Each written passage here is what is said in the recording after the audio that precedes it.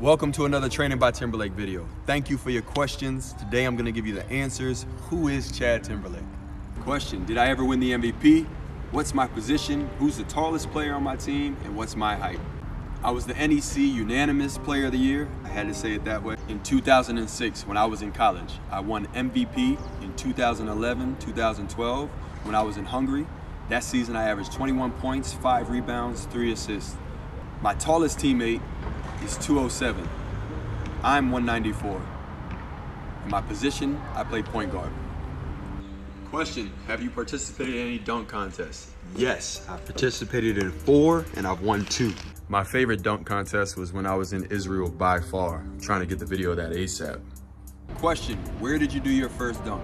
My first dunk, not in a game, came when I was 13 years old. Still remember it like it was yesterday.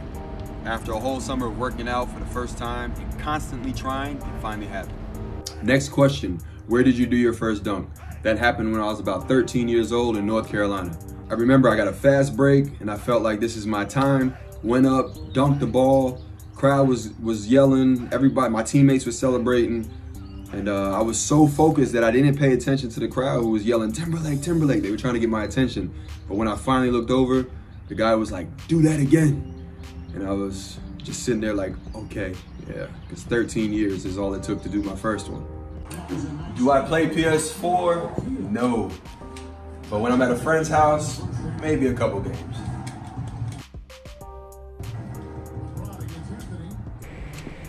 How many championships have I won? One in college, six as a pro. And I'm trying my best to get one more, so that way I can say I've passed MJ. Next question, when did you fall in love with basketball and when did your journey start? I have to say that my love for basketball developed because of my father. Have fun doing the game, it's no doubt about that.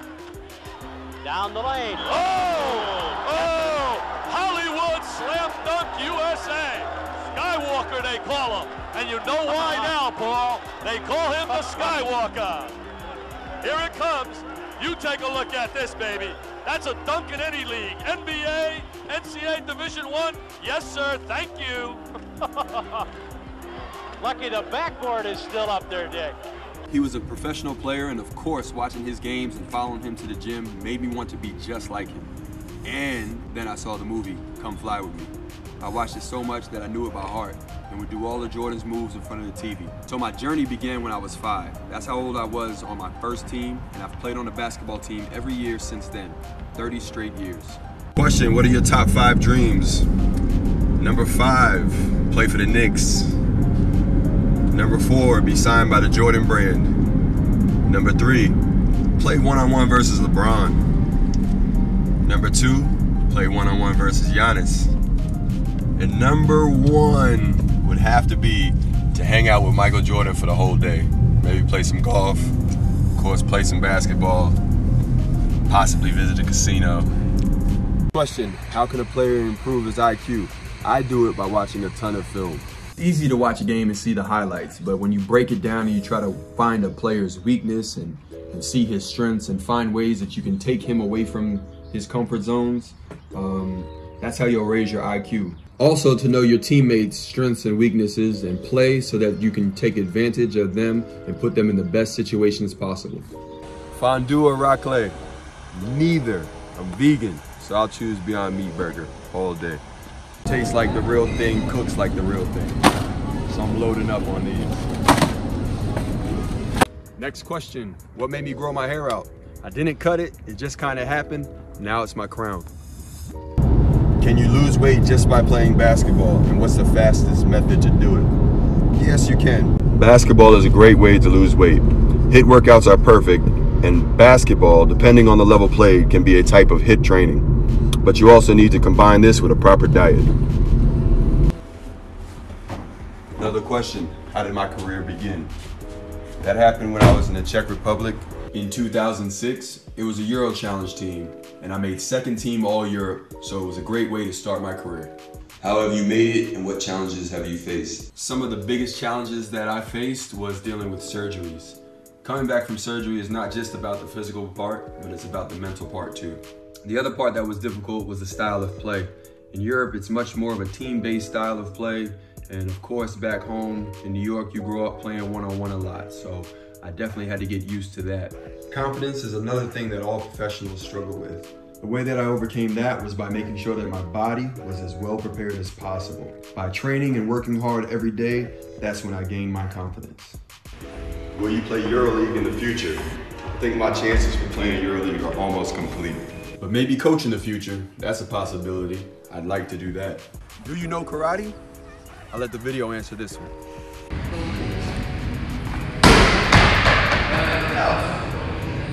Can you do a windmill? Of course.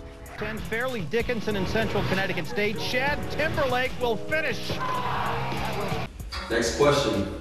How was it leaving the U.S. to have a career overseas? And what was the hardest part? Understanding that team play more than one-on-one is the way that teams are trying to win over here. The next hardest part is probably just dealing with being away from family, from your friends, um, everything that you're used to from back home. Next question, will I make videos while here in Monthey? Yes, I'm gonna follow the team around throughout the season and track our progress. I'll try to release them monthly. I have a couple teammates on my team who are really good shooters, really good athletes, so I'll definitely do some videos involving them. Next question, what are my top five favorite countries that I've played in? Number five, Czech Republic, my rookie season. I had a lot of great experiences there. Number four, Germany. Living there was incredible and playing in the BBL against teams like Alba Berlin and Bayern Munich were memorable moments in my career. Number three, Hungary. I made a lot of friends in that country that I'm still in contact with to this day. It's also where I won my first championship. Number two, Israel. The weather was beautiful. You could have a tough workout or practice and spend the rest of the day recovering and relaxing on the beach. And my all-time favorite country, Switzerland. I made a lot of friends here. I've won multiple championships, but it's also a beautiful country. Just look at it. Next question, what are my top five basketball shoes that I ever played in? I love this question because I'm definitely a sneaker fan.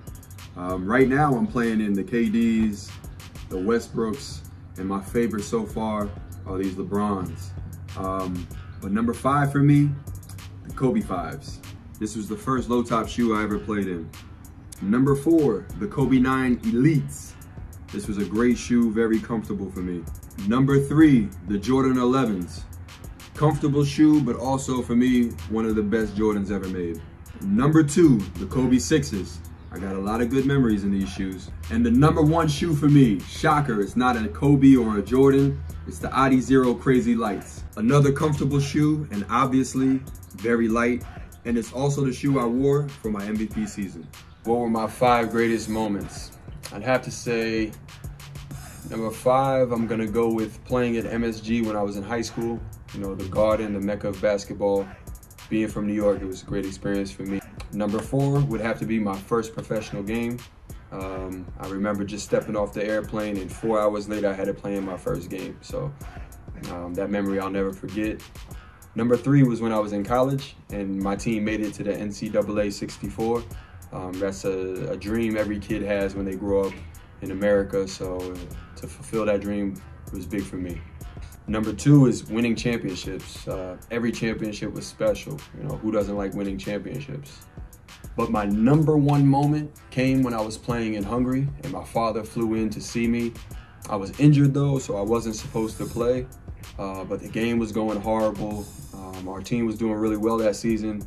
Uh, but at halftime, I looked at my dad and I just told him I'm playing. So in the locker room, I did a lot, lot of stretching, as quick of warm up as possible, and I jumped out there and I led my team to victory. I had one of the best games I could have had. In 17 minutes, I finished with 26 points, five rebounds, two assists, with a 34 ranking. Being away from family all the time is hard, but when they are there for some of the best games, it's a great feeling. Another question, who are some of the best or famous players I played with or against? Um, it's a tough one because I played against a lot of good players. I'd have to say guys like Dennis Schroeder, Randy Foye, Metta World Peace. I know him as Ron Artest though. Um, Devon Harden, Lou Williams, Andre Iguodala, Justin Leaf, Dajuan Wagner, Devin Harris, Brook Lopez, Deron Williams. But for me, the best I would have to say is J.R. Smith. We got to play AAU basketball together. JR is a special type of player because most shooters you don't have to worry about because they can't drive. And when we were young, JR was very athletic. I mean, he could fly, do some incredible dunks, and he has one of my favorite in-game dunks of all time. Tell me what you think about it. Trying to see how it's affecting Tony Parker. J.R. Smith! We just saw men fly! J.R. Oh. Smith with the time running down just took flight off George Hill. Took it in the chest, went up a couple more feet with the finish here in Denver. Next question Did I ever have an opportunity to play in the NBA? Yes, I was with the Wizards for one day, and I was with the Sixers and the Nets for two months each. But one of my biggest memories has to come from when I was with the Sixers. Um, all the unsigned players and rookies have to come early, so we were there for about two weeks. And I was doing really well. And when the veterans got there, it was Reggie Evans, Andre Iguodala, um, Elton Brand. And Reggie Evans goes up to Iguodala when we were making the teams and tells him, hey, you guard him. Timberlake's been killing us all week. And I took that moment as pride and a compliment to my game because we all know Andre Iguodala as an all-time great defender. You know, you can look at the job he did against LeBron and, you know, to have a guy like that be known to say, hey, you got to guard Chad, made me feel great. Next question. If you're looking to jump higher, dunk from two feet, or get that Dennis Smith Jr. bounce, then you need consistency, dedication, and a little bit of training by Timberlake. Let's get it. TBT, on me. TBT, that's on me. TBT, that's with me. Welcome to another Training by Timberlake video. that door opened as soon as I said the word. Maybe nobody cares about who Chad Timberlake TBT, that's on me. TBT, that's on me. TBT, that's with me.